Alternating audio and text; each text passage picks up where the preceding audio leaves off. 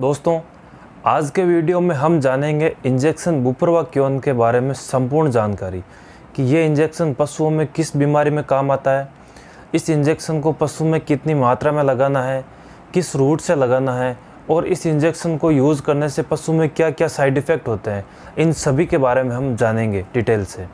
तो आइए वीडियो शुरू करते हैं।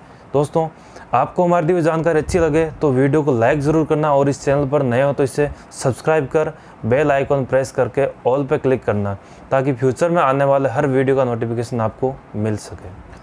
बुपरवा क्यों इंजेक्शन थेलेरियोसिस बीमारी की ड्रग ऑफ़ चॉइस है। थेलेरियोसिस एक प्रोटोजोल डिज़ीज़ है, जो थेलेरिया परवा और थेलेरिया एनुलाटा नामक प्रोटोजोआ से फैलती है।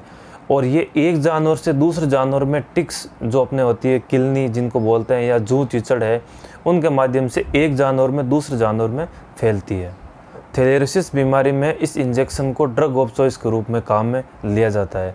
इस इंजेक्शन के हम डोज की बात करें तो इसकी डोज 2.5 पॉइंट पर किलो बॉडी वेट, यानी जो 20 किलो का जानवर है, उसको हम इसकी एक एम डोज लगाते हैं। इस इंजेक्शन को वापस बेहतर घंटे बाद अगर ज़रूरत हो तो हमें वापस बेहतर घंटे बाद ही वापस रिपीट करना है। बेहतर घंटे से पहले इस इंजेक्शन को रिपीट नहीं करना है। इसके अगर रूट की बात करें कि इसे किस रूट से हम पशु को दे सकते हैं तो इस इंजेक्शन को हम सिर्फ़ इंट्रामस्कुलर रूट से दे सकते हैं। यानी ये ना तो सबकट लगता है और ना ये इंजेक्शन आईवी लगता है। ये इंजेक्शन सिर्फ़ इंट्रामस्कुलर यूज़ होता है।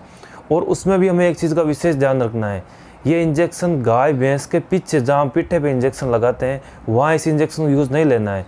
ये इंजेक्शन सिर्फ़ और सिर्फ़ जो नेक की मसल्स होती है, यानी जो गर्दन की मांसपेशियाँ हैं जहाँ हम इंजेक्शन लगाते हैं, इसको वहीं इंट्रामस्कुलर लगाना है, पीछे नहीं लगाना है। इस चीज़ का हमें विशेष ध्यान रखना है। वैसे तो इस इंजेक्शन का कोई साइड इफ़ेक्ट नहीं है, पर फिर भी कई बार क्या होता है कि जहाँ हम इंजेक्शन लगाते हैं, वहाँ लोकली स्वेलिंग हो जाती है, यानी उस जगह पे सूजन आ जाती है। इस इंजेक्शन के मार्केट में कई ब्रांड अवेलेबल है, जैसे बुटालेक्स है, जोबियन है, या बुपराक्वेन नाम से भी और कई इसके मार्केट ब्रांड चलते हैं।